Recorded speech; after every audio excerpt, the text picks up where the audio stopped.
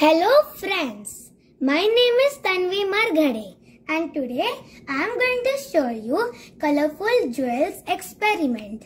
So let's start. So we require for this experiment are some water, measuring beaker, bowl, crystal powder, food coloring and a spatula.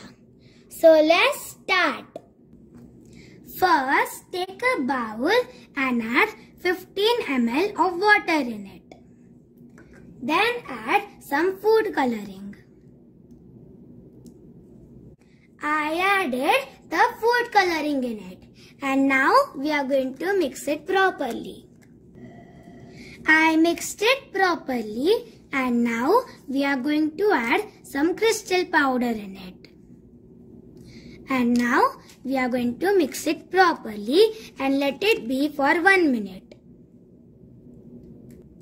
After a minute, we are going to mix it properly and look, it is not liquidy. Do you know why this happened? Let's find out the logic. Absorption is the process when one thing becomes a part of another thing.